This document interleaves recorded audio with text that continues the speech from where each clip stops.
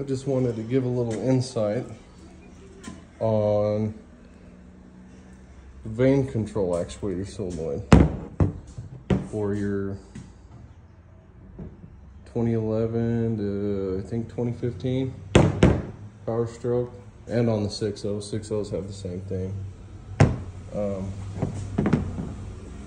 a little thing to look for if your vanes ain't actuating.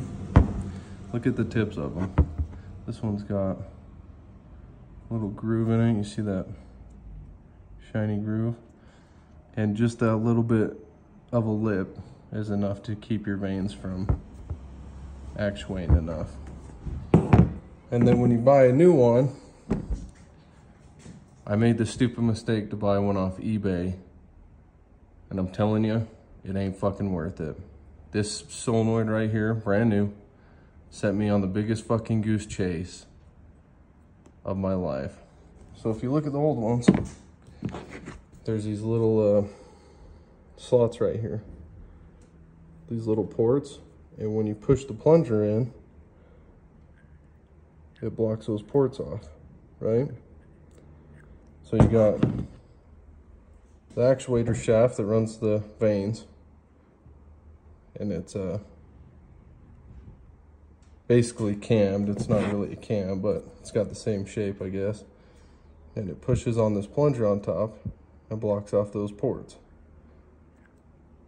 And it's got a little bit of play before it even actually starts blocking anything off. Now this new one, you know, I thought, man, it's new. There's no way that's the issue still. But if you look, as soon as you start pushing on it, that port starts moving. And when what it would do when the vanes would try and actuate, the uh, ports would push past.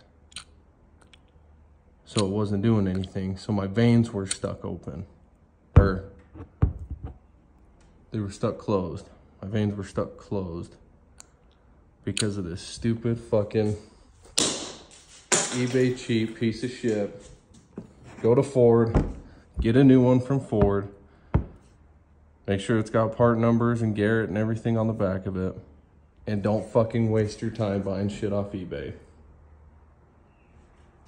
It was like the worst two weeks of my life trying to figure out why the hell my vanes weren't actuating. Just go to Ford, man. Buy the parts, call it a day. But yeah, so when you get a new one, just check the ports. Make sure when you push the plunger all the way in that it doesn't push past those ports. And you should be good to go.